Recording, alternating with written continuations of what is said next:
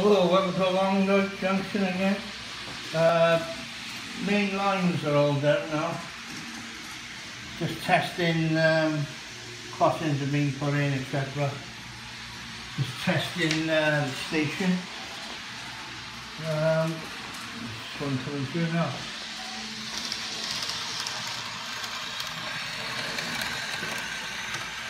So that will be running around on the platform 2 and there's another one coming in now on platform 3 HST is on 4 and the GWR is on 1 this is the first run. We just finished this. Of the um, main lines completed through the station area at least. And the relief lines there's a couple of got away I um, those yet but the main uh, track work is all done now. And it seems to be running okay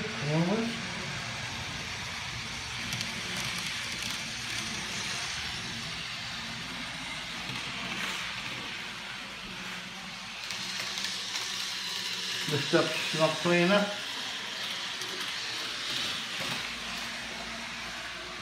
So we're quite happy really.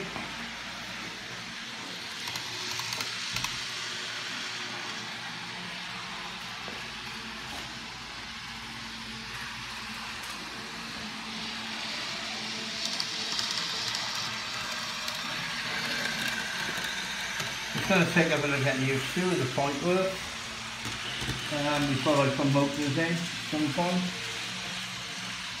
Um, so it's probably take me a couple of few weeks. The problem I got is there two points up there that got to be used in conjunction with these on here as well. Uh, the way I've done it.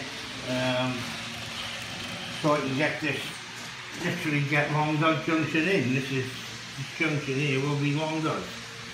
So at least I've got a junction I can call a junction now. Another one here. This could be long though. I might change my mind on that. It's a bit more the business that one. So there we are, just showing you a quick running session on the main. This will be the last video now for a while. Um, I've got other things I've got to get on with now. So I'll catch you whenever. Catch you again. Bye.